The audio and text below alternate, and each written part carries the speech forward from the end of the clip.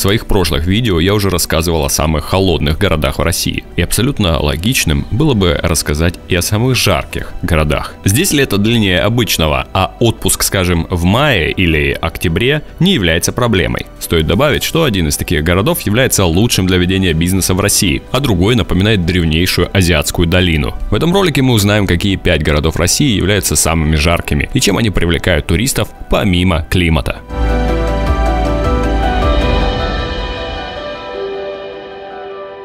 Сочи – крупнейший город-курорт, находится на северо-восточном побережье Черного моря в Краснодарском крае. Солнечных дней в году здесь около 300. Основан город был в 1836 году и назывался он в то время Форт Александрия. Современное же название он получил спустя 60 лет. Названием Сочи обязан одноименной реке, у которой раньше жило племя, которое носило то же имя. Известность Сочи получил еще во времена СССР. Уже тогда большинство стремилось ездить сюда на курорт в отпуск. Спустя год годы город стал только краше и привлекает все больше туристов, в том числе и иностранных. Говорят, что здесь и море не особо нужно, поскольку развлечений в городе хватает. А всего каких-то 200 лет назад город был местом ссылки, а климат здесь был отвратительный. Кругом были болота и куча малярийных комаров над ними. Зная сегодняшний Сочи, в это даже как-то трудно поверить. То, что город теплый, вы без меня знаете. Но он также обладает и рядом других преимуществ. Например, Сочи был признан одним из лучших городов России для ведения бизнеса, по данным журнала Forbes. Неофициально город также называют летней или курортной столицей России. А еще его называют русской ривьерой. Но не только потому, что это самый престижный курорт России, но и потому, что он расположился на широте Ниццы, Кан и Монте-Карло. Анапа – еще один курортный город в Краснодарском крае. Здесь солнечных дней чуть поменьше, примерно 280. Город часто называют детским курортом, так как здесь расположено огромное количество детских детских лагерей. Наверняка и кто-то из вас в свое время проводил летние каникулы именно здесь. Местные воды довольно соленые, и купание в такой воде помогает в лечении некоторых заболеваний. Хотя последнее время город получил не очень много лестных отзывов. Все это благодаря хаотичной застройке, избытку туристов и мусору. Но давайте не будем о грустном, ведь здесь также есть на что обратить внимание. У меня на канале есть отдельный выпуск с обзором на гостиницу Кипарисовое озеро и виноградники, поэтому переходите по ссылочке, если вам интересен этот город. Итак, Анапа. По одной из версий, свое название город получил от древнегреческого «Анапа», что значит «высокий мыс». Вероятно, такое название местность получила благодаря высокому и обрывистому берегу, вдоль которого проходит улица Старая Набережная. Около двух тысяч лет назад на месте современной Анапы находился греческий город Гаргипия, который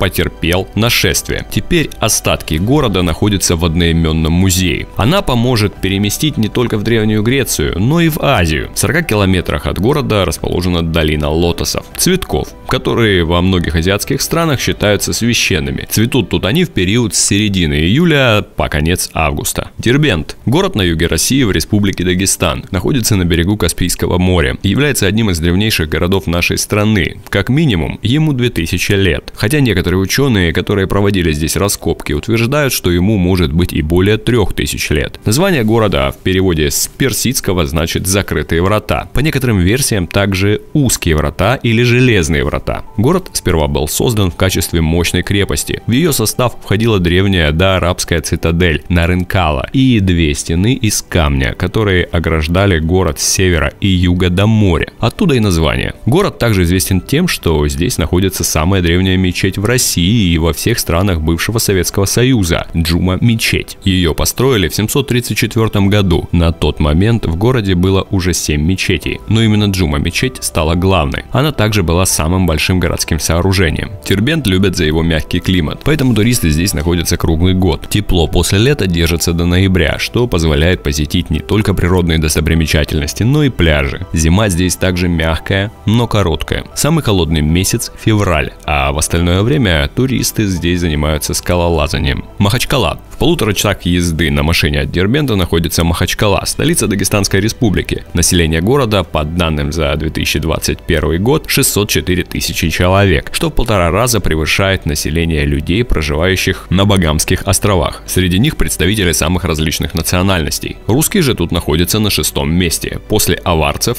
кумыков, даргинцев, лезгин и лакцев. Когда-то город носил название Петровское, а позже Позже Петровск-порт. По преданию, в 1722 году в этих местах находился лагерь армии Петра I, откуда и название. Махачкалой он стал в 1922 году и назван так в честь одного из организаторов советской власти в Дагестане, Магомеда Али Дехадаева, сокращенное от Магомед – Махач, а Акала означает город или крепость. Махачкала – город, который в России развивается и растет быстрее, чем все остальные города. А в 2011 году Махачкала вошла в топ-3 самых благоустроенных городов нашей страны по версии Росстроя. Лето здесь продолжается около 5 месяцев. В мае и сентябре здесь довольно теплая погода, благодаря чему пляжный сезон можно и раньше начать, и позже закончить. Балтийск. В 43 километрах от Калининграда находится город Балтийск. Он же самый западный город России, окруженный водой с трех сторон. До 1946 года являлся немецким городом и носил название Пилау, данное ему в 1626 году. Название Пилау произошло от